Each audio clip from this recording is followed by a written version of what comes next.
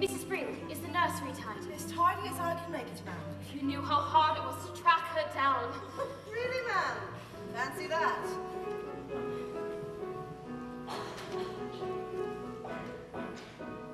Call they go through nannies for a flipping pastime. Now when one returns, they make this fearful fuss. Never liked her much when she was here the last time.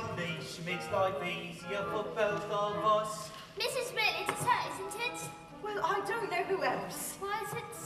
a secret?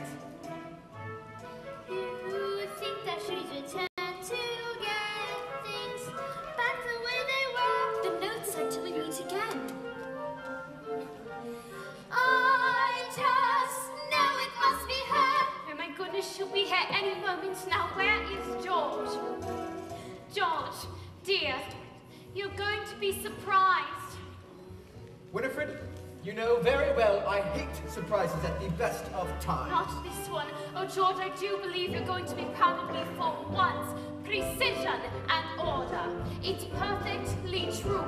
Can really make a difference. I found her for you. Clear thinking, sound judgment, and now we'll regain a home you can be proud of on Cherry Tree Lane. Hurry up, everybody, into the hall. I want to find everything.